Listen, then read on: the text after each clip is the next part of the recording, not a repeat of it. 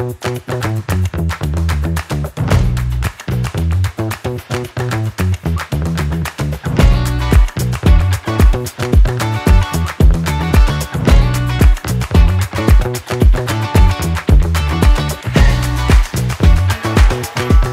città dei bambini e delle bambine nasce proprio con questo intento, portare la voce dei bambini a tutta la città.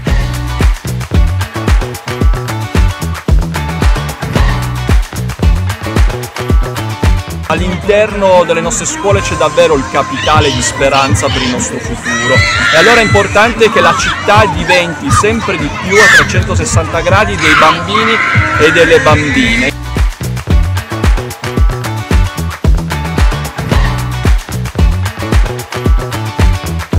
L'evento di oggi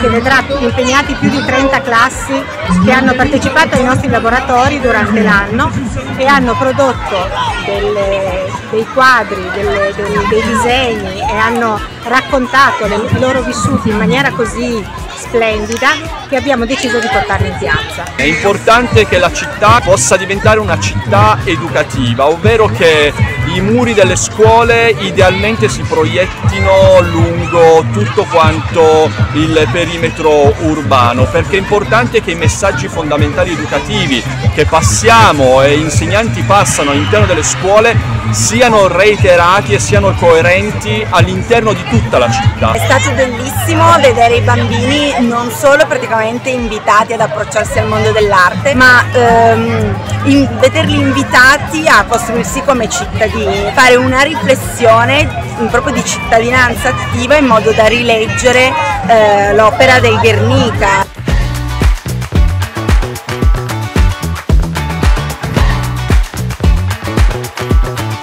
I laboratori sono molto diversi, ci sono laboratori d'arte e ci sono laboratori dove invece trattiamo temi un po' più impegnativi, uno di questi è eh, dalla Guernica alla Colomba della Pace, dove trattiamo proprio il discorso della guerra e eh, la necessità di eh, far diventare la pace non qualcosa che sta in mezzo a due guerre, ma qualcosa che, che deve essere una cosa naturale. E nei bambini questa cosa è esponenziale, nel senso che per i bambini veramente la pace è qualcosa di naturale, loro non, non, la capiscono la guerra. Mi ha intenerito e mi ha stupito questo bimbo, ha detto eh, ecco voi avete fatto vedere tutto questo per farci capire che i muri non possono che portare nulla di buono quando dividono gli esseri umani.